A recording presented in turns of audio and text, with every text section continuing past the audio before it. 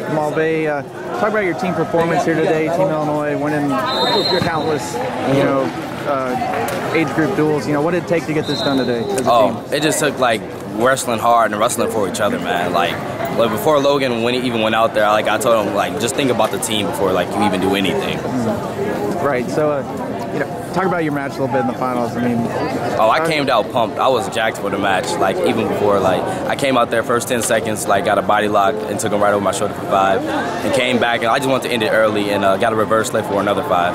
yeah. So, what's your mindset going out there? I mean, your team already had secured the the match at that point. I mean, you didn't even really have to wrestle. You know, what's your mindset going out there? You know, just domination. Is that your goal? Yeah, it's domination and like just wrestling for my team. Like if I think get to thinking like too self-centered and thinking about myself, it'll be like harder to win. Right, right. And, uh, you, know, you had some high praise from Coach Medlin. I just interviewed him. Said you might be the best Greco wrestler he's ever seen in your life. I mean, what, what what's it going to take to live up to that? Uh, I don't know, like just gotta just gotta stay in the gym. Just staying in the gym. Yeah. Uh, so you've got some good national experience under your belt. Uh, you plan on wrestling at Fargo this summer, doing all that stuff. Yep. Um, so what's your mindset to go out there and get that Fargo title? What's your game plan? Kind of the same one I had out here. Just go out and have fun. Like don't let anything else like come in between me and like my goals. All right. You wrestling freestyle, brother? Yes, sir. Sounds good. We're going to see some more fives. Most definitely.